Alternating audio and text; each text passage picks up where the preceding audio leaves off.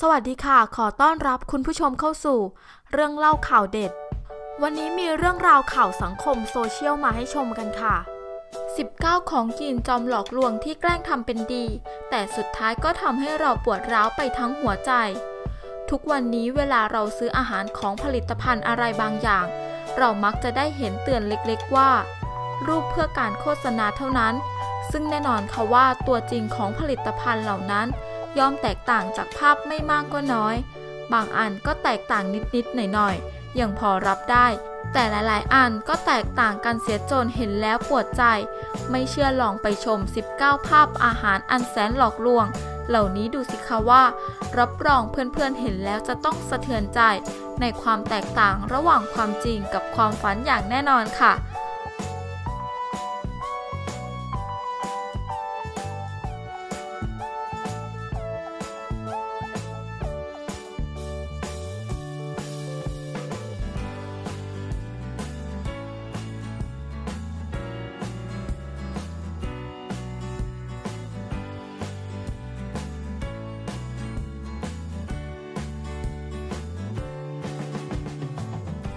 อขอบคุณข้อมูลดีๆ จากแคตตัมอย่าลืมกดติดตาม พร้อมทั้งกดรูปกระดิ่ง เพื่อแจ้งเตือนเรื่องใหม่ๆ จะได้ไม่พลาดรายการเรื่องเล่าข่าวเด็ด